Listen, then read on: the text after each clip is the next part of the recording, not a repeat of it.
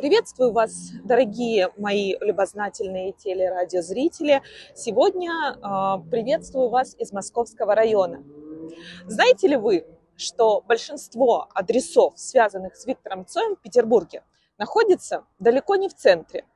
Да, конечно, в центре очень знаковые адреса, например, рок-клуб Нарбинштейна, э, кочегарка Цоя, Камчатка на Петроградской стороне. Да, эти адреса очень известны. Но дело в том, что большая часть их, э, связанных с именем этого прекрасного великого человека, находится в южной части города, а именно в районах Московском, Фрунзенском, Кировском, Красносельском, потому что большую часть жизни своей, увы, не очень длинной, Виктор Робертович прожил и проработал, кстати, именно здесь. Я нахожусь на Московской площади.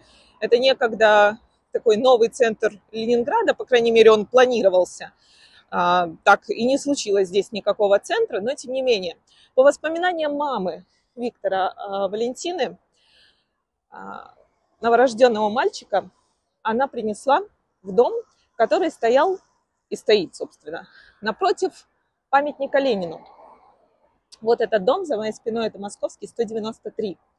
Именно здесь первые годы жизни рос Виктор Цой.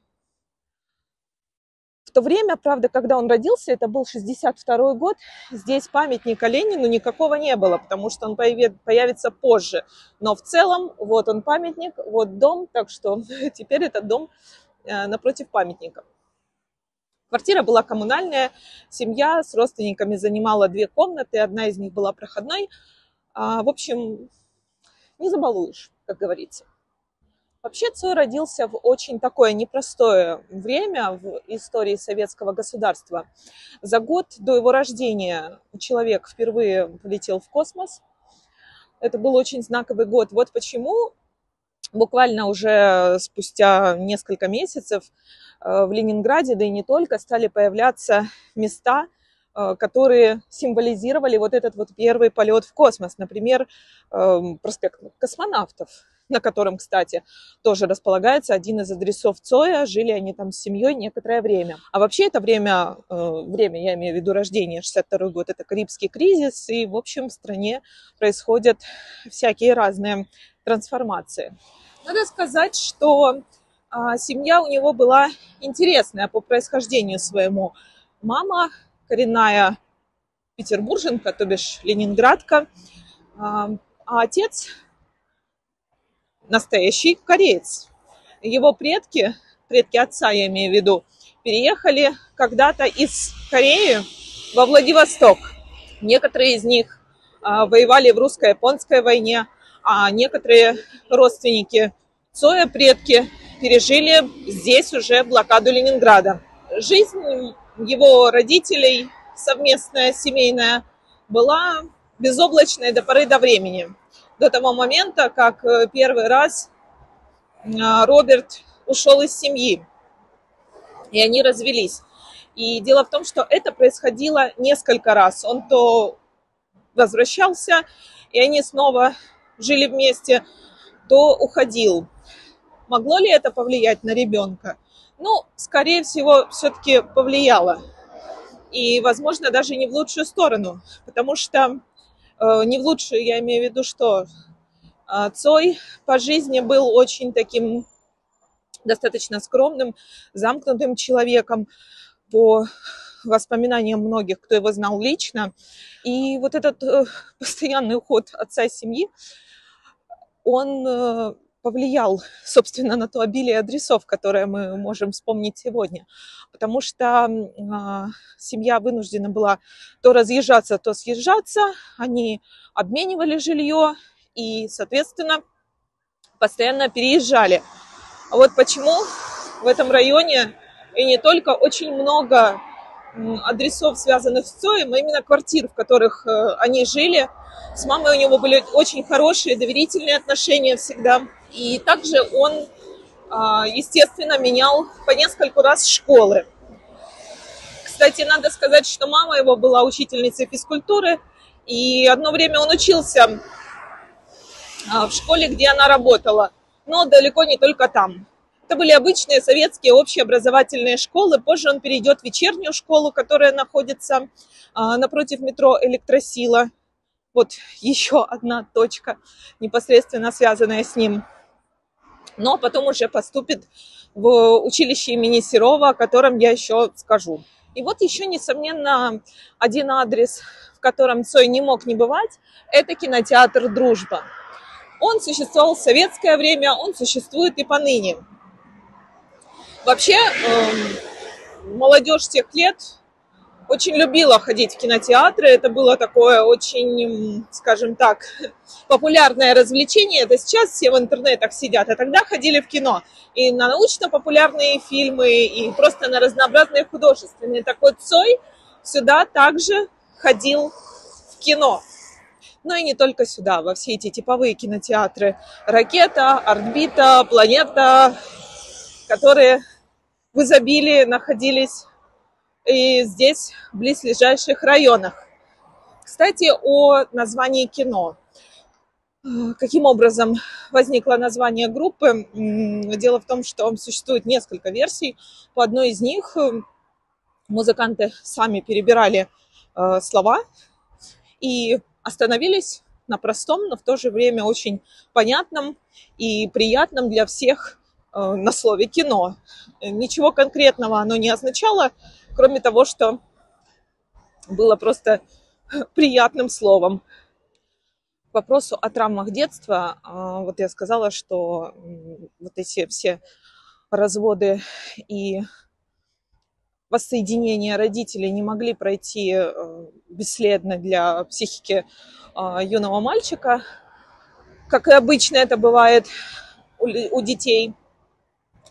А вторая проблема была, заключалась в том, что а, все-таки Цой э, столкнулся в школе, да даже еще в детском садике с тем, что сейчас называют буллинг. Его за экзотическую, да, необычную внешность, не русскую, скажем так, а, дразнили часто японцам. Ну и вообще впоследствии выросший таким вот скромным и очень адекватным по отношению к остальным человекам он говорил о том, что я вообще не разделяю людей по какому-то национальному принципу или иному принципу, денежному, достатку и так далее. Мне важен сам человек, кем он является и что из себя представляет как человек, а не какие-то его качества и критерии, по которым, кстати, люди очень часто друг друга судят и осуждают. Несомненно, связь Цоя и с адресами общепита – а вот это знаменитая пирожковая на Московском, одно из немногих заведений в нашем городе, которое осталось, так сказать, еще с советских времен.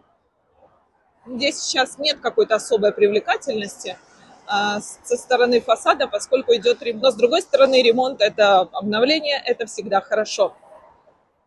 Так вот, осталось таких заведений, работающих советского времени, не так много. Это вот эта пирожковая и знаменитая пышечная на Конюшиной – в этой пирожковой Цой, несомненно, бывал.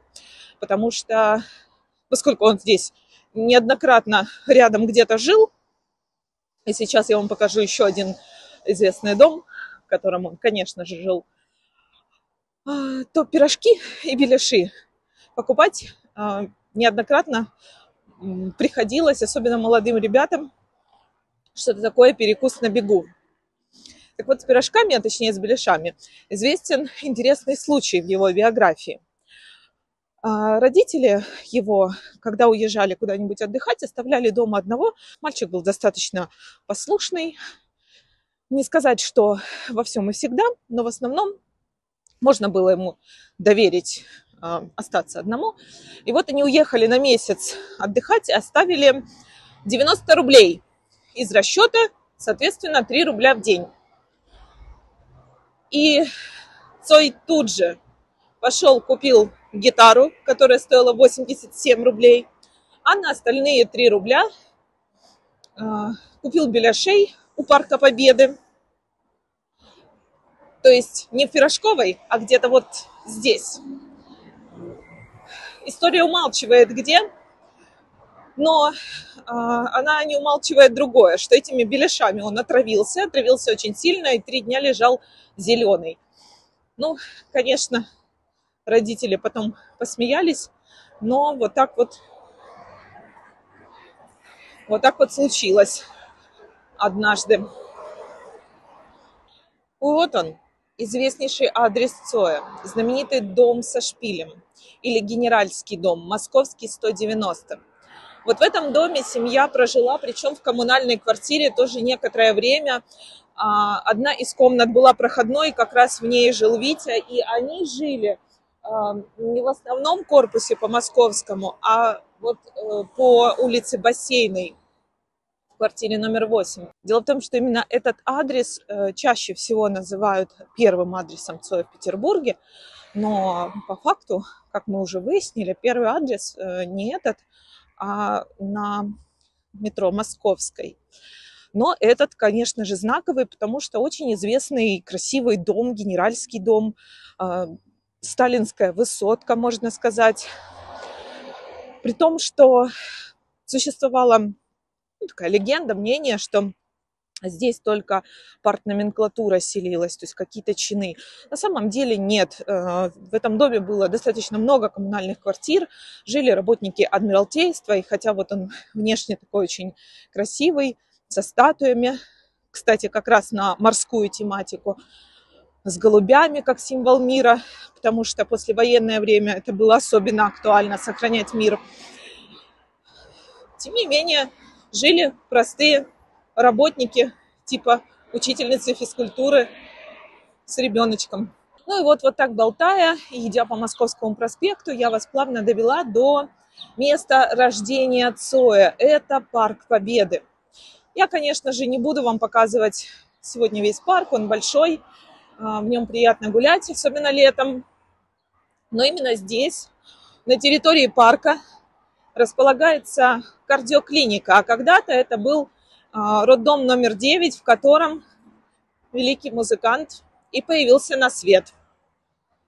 Интересно, что впоследствии а, неоднократно Виктор с друзьями и с музыкантами бывали здесь, гуляли на территории парка, и даже одно время он здесь работал. Здесь была лодочная станция, на которую он устроился а, спасателем. Как раз к вопросу о том, где работал Цой и почему он работал на таких работах. А, поскольку заработок музыканта был очень часто нестабильным, особенно по началу его карьеры, соответственно, нужно было зарабатывать хоть какие-то деньги, особенно когда у него появилась своя семья, жена и родился сын. И плюс а, был закон о э, борьбе с тунеядцами. То бишь, эм, по-любому, хочешь не хочешь, а нужно было где-то работать. Потому что если меньше, по-моему, четырех месяцев в году ты работаешь, значит, скорее всего, ты тунеядец. Тебя проверят и не исключено, что подтвердят этот статус. Вот поэтому у Цоя неоднократно были работы простые, неквалифицированные, а иногда эффективные. Вот здесь вот на лодочной станции как раз таки была одна из работ подобных, фиктивно, лишь бы где-то числиться. Борис Гребенщиков называл а, в то время вот такую вот творческую интеллигенцию поколением, а, соответственно, творческих кочегаров и мойщиков. Так вот, про учебу Виктора Цоя можно сказать, что в школе он учился удовлетворительно. Неплохо, нехорошо, в основном на тройки, четверки. И с детства интересовался и музыкой, и рисовал. Кстати, рисунков сохранилось очень много а, его, и если бы он не стал великим музыкантом, возможно, он бы мог быть великим художником. И как я уже упоминала, поступил он в училище Серова, но оттуда его выгнали, потому что он а, все, что касалось каких-то рамок, выполнения нормативов, то есть нарисую именно вот это, он это все выполнять не любил и зачастую игнорировал по воспоминаниям преподавателей. А то, что шло от души, то, что он хотел делать сам, то у него получалось замечательно. Вот когда его выгнали, он поступил сюда, ПТУ 61 на улице Стойкости, 30, корпус 2. Сейчас это Академия реставрации и дизайна, тогда это было реставрационное училище. И осваивал здесь он профессию э, краснодеревщика, резчика по дереву. И опять-таки, все, что было ему интересно делать руками самому, он делал замечательно. В частности, он увлекался японским искусством и созданием нецке. И даже в телевизоре появился «Мама и в телеке». В одной из передач его пригласили именно как создателя вот этих вот фигурок Нецки. Здесь э, бытует легенда такая, что хранится копия диплома Цоя. Но на самом деле э, диплома он так и не получил даже здесь. Он получил справку об окончании, которая, скорее всего, конечно же, хранится в этом училище. И когда, вот когда Цой умер, здесь в этот год и последующие был небывалый наплыв абитуриентов. Просто все хотели пойти по стопам Цоя, учиться здесь. И училище просто перевыполняло план по набору абитуриентов. Самое, наверное, важное, что можно сказать об этом месте, это то, что здесь хранятся некоторые работы Цоя. И самое, наверное, знаковое, его дипломная работа, которую он, к слову, не закончил, но самое важное, он ее назвал «Звезда по имени Солнце». Итак, как сказал бы кто-то, вечерело, пока я вам показывала в одном районе адреса Цоя, а в другом районе почти наступила ночь. Но еще не совсем. И вот очередной адрес, который непосредственно связан с именем Виктора Цоя, это вот этот адрес. Это сталинские бани. Банями они были тогда, банями они являются и сейчас. А почему? Потому что Цой здесь работал. К вопросу о работе, чтобы была. Дело в том, что здесь а, был очень у него такой специфический график работы. Каждый день, но один час – но с 10 до 11 вечера. И он работал, конечно же, кем? Ну, обычным мойщиком. То есть ему нужно было, срываясь с каких-то э, вечеринок или, или репетиций, просто из центра города приезжать на ветеранов, чтобы один э, час э, вот, в день помыть здесь пол. И он здесь не очень долго проработал, потому что это было, конечно же, неудобно. И после вот этой работы он перешел работать в ту самую кочегарку на Петроградку. И там уже было гораздо, а, гораздо более комфортно ему, потому что, ну, во-первых, полуподвальное помещение, причем в женском общежитии, достаточно уединенное. Просто кидаешь уголь, поддерживаешь тепло. И можно было там же собираться играть на гитарке. Гораздо более комфортная атмосфера. Сейчас, кстати, там по, по этому адресу находится бар. И бар совершенно отвратительный. Никому там не рекомендую пить пиво. А, идите более достойные места. Но ради чего там действительно стоит э, побывать, это все-таки знаковый адрес Цоя в Петербурге. А, там весь двор исписан граффити а, висит мемориальная доска, а внутри этого бара настоящая гитара Цоя, которую подарила им Марьяна, и, и его, опять-таки, настоящие рисунки. Вот на это, конечно же, стоит посмотреть. Вот этот самый обычный дом.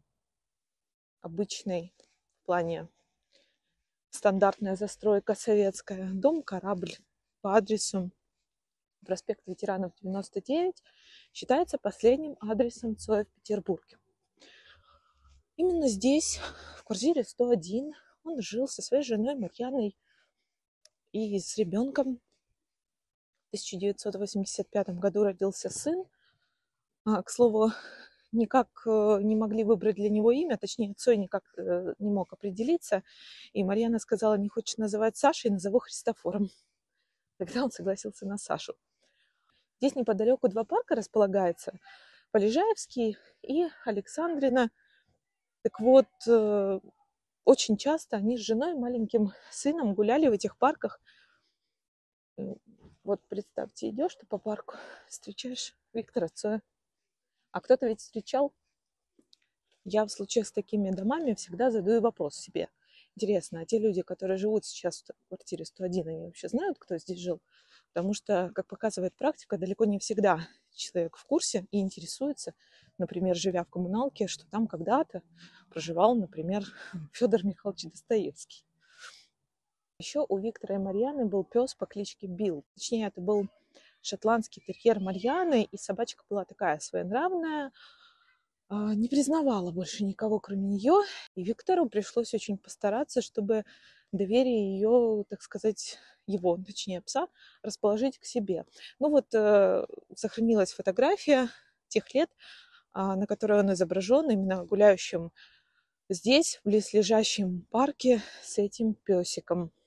Через несколько лет жизни после рождения ребенка, поначалу у них все было хорошо, и он был очень счастлив, нянчил этого ребенка непосредственно сам. Но потом отношения разладились, Цой встретил другую женщину. Ну, конечно, его личная жизнь это совсем уже другая история, отдельная. Но э, в конце, так сказать, жизни он переехал в Москву на какое-то время, он жил там. Но, тем не менее, когда он умер, а, здесь вот э, фанаты расписали в том числе дверь квартиру 101, и не только ее, тоже было такое местное место паломничества. Раньше ходили разговоры, что здесь будет то ли памятник рядом поставлен, то ли, может быть, просто мемориальную доску повесят на этот дом. Но пока что здесь нет ни того, ни другого. Памятник я вам сейчас и покажу. И находится он недалеко, но не здесь. Ну что ж, завершая сегодняшнее видео, а, пришла я к этому памятнику. Да, здесь конкретно в этой локации нету адреса, связанного с Цоем, но поскольку весь юг города, как вы понимаете, связан, соответственно, с его именем, это очень много адресов, только небольшую часть я вам сегодня показала, то логичным было здесь появление данного памятника. А вот там у нас располагается метро проспект ветеранов, это бульвар новаторов, и вот здесь вот в 2020 году поставили этот памятник. Э, насколько я знаю, на частные средства, на спонсорские к 30-летию его, соответственно, гибели. И, кстати, поза для памятника выбрана не случайно, точно такая же, как на одной из его знаменитых фотографий. Здесь вообще весь сквер сделан, соответственно, чтобы оправдать э, этот памятник. Э, не так давно его реконструировали. А, заборчик с нотным станом и вот здесь вот а, в центре располагается клумба а, в виде гитары. Там летом цветочки высаживают. Так вот, а, заметьте, человек прожил очень короткую жизнь. Всего лишь 28 лет ему было, когда он погиб. А с тех пор нет его на сегодняшний день уже больше, 34 года. Но слава группы кино не не угасает, и вырастают все новые поколения, которые становятся настоящими фанатами. Хотелось бы даже верить в то, что и последующие поколения также будут слушать э, песни группы кино и Виктора Цоя. Пожалуй, э, я думаю, нет ни одного города, в котором э, где-нибудь на стене не было бы надписи «Цой жив» потому что Цой жив. Что ж, а на сегодня у меня все. С вами была Ира Гид в шляпе. Будет еще очень много интересных историй. Всем спасибо, всем пока.